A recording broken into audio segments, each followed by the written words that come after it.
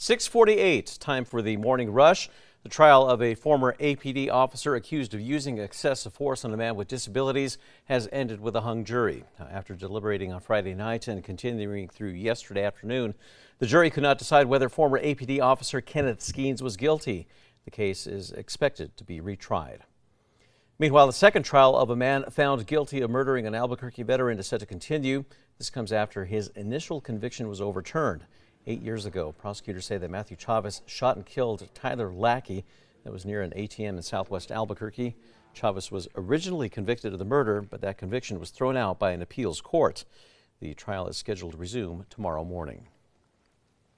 New Mexico State Police, along with University of New Mexico Police, were able to safely remove protesters who had camped out in the Student Union building overnight. This is the latest in a multi-day protest held on campus, with protesters calling for UNM to call for a ceasefire in the ongoing Israel-Hamas war. It is not clear if any arrests have been made this morning. Erica. Here's a look at our school day forecast. Temperatures are cool this morning. You'll need some light layers. 80 this afternoon, a warm and sunny day. The state Supreme Court heard arguments over whether a former student can sue APS. That's over a racially charged classroom incident. Mackenzie Johnson sued the district in 2020, two years after she says that a teacher called her a derogatory term and cut another student's braids. A district court dismissed the case, but the Court of Appeals revived it last year. Bernalillo County District Attorney Sam Bregman and Sheriff John Allen are going to be hosting a town hall meeting.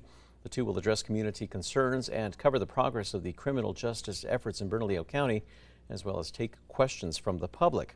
That meeting begins at 6 this evening at the Paradise Hills Community Center. The New Mexico legislature is now looking to hire some full-time interns. The legislature says that the interns are going to help with the day-to-day -day staff work, scheduling meetings, analyzing political issues, speechwriting, and even tracking bills. The applicants must be enrolled undergrad students as well as or even recent graduates. The application deadline is May 17. Erica. Here's a look at our threat index. It is low today. We do have some chilly freezing temperatures up in northern New Mexico. Otherwise, it's going to be a hot afternoon in the southeast with mid 90s.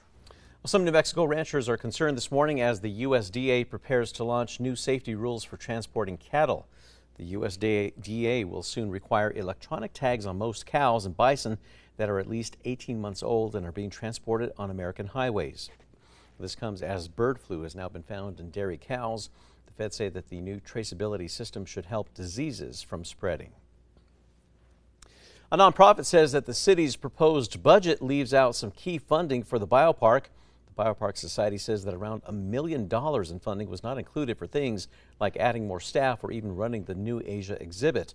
The group also says another $200,000 for rising costs was cut. The group is encouraging its members to write to city councilors. Israeli Prime Minister Benjamin Netanyahu is under some increasing pressure over the ongoing war in Gaza. Protests have ramped up in Israel, demanding Netanyahu make a deal to bring hostages home. However, hardliners and his ruling coalition say that his job is on the line if he delays the Rafah invasion. U.S. officials stated that without a plan to protect civilians, the U.S. does not support a Rafah offensive. Erica. All right, a check on traffic. The maps are clear, no accidents or slowdowns to report.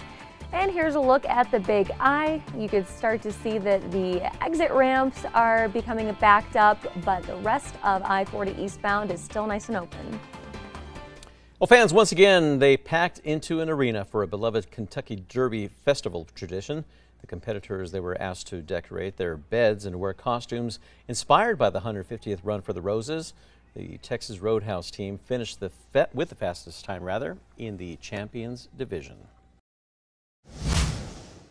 Time now for the five facts. At number five, the nonprofit that supports the biopark is expressing its concerns after saying the city's proposed budget leaves out key funding for the facility.